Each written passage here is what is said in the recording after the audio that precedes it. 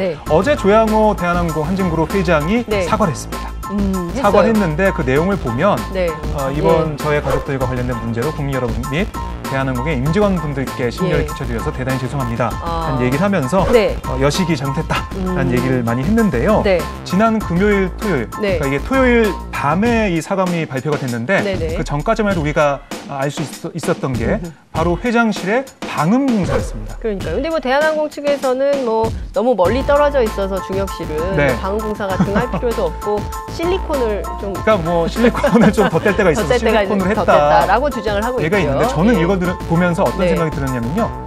이 안의 목소리가 밖에 나가는 게 중요한 게 아니라 밖의 목소리 우리가 안 듣겠다 라는 아. 의미에서 방음 공사한 게 아닌가라는 생각이 들더라고요. 네. 그만큼 여론에 무신경하고 무감각한 게 아닌가라는 그러니까요. 생각이 들었습니다. 세상의 변화를 빠르게 읽어야 그렇습니다.